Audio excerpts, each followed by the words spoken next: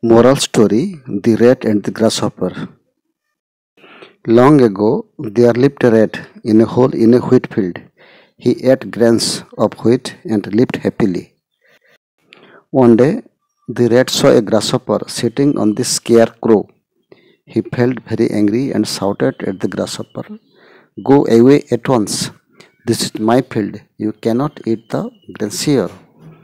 The grasshopper replied, Who says so? I have as much right to eat this crop as you do.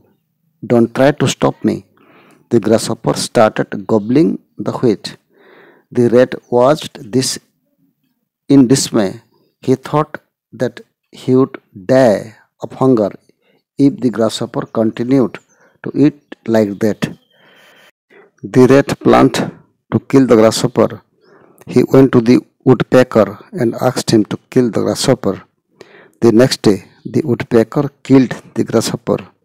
Then the rat danced in the field with joy. Just then a cat saw him. He jumped on the rat and killed him. The grasshopper had requested the cat to kill the rat.